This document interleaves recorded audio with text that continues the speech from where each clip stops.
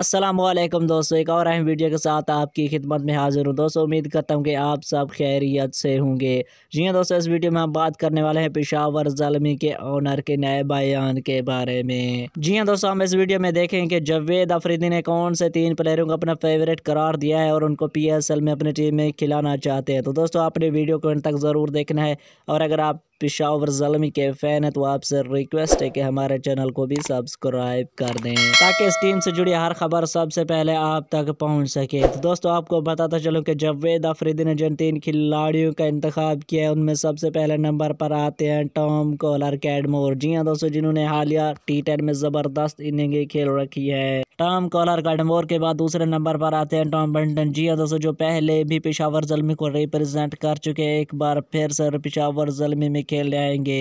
इसके बाद तीसरे नंबर पर आते हैं पिशावर जलमी से ही ताल्लुक रखने वाले लियाम लिविंगस्टन। जी हाँ दोस्तों, बहुत ही ज़बरदस्त बैटिंग करते हैं ये। और बैटिंग के साथ साथ अच्छी बॉलिंग भी कर लेते हैं। तो दोस्तों, आपकी नज़र में ये तीनों खिलाड़ी पेशावर जलमी के लिए सही है या गलत, अपने राय का इजहार कमेंट में ज़रूर कीजिए। अगर खिलाड़ी आपको पसंद है तो वीडियो को लाइक कर दीजिए। शुक्रिया।